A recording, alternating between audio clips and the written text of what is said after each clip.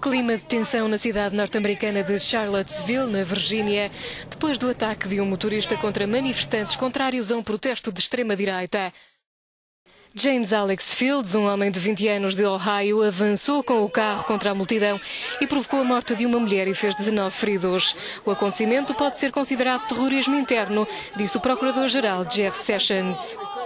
E segundo as palavras dos nacionalistas, são estes esquerdistas radicais que trazem a violência, são eles que se preparam para a violência. Disseram-no nos seus cânticos, morte aos nazis e aos fascistas. Vieram preparados para a guerra, foram eles que nos tentaram matar. Os ativistas manifestavam-se contra a marcha de neonazis convocada para protestar contra a retirada de uma estátua do general Robert Lee, conhecido por ter comandado o exército da Virgínia do Norte durante a Guerra Civil Americana.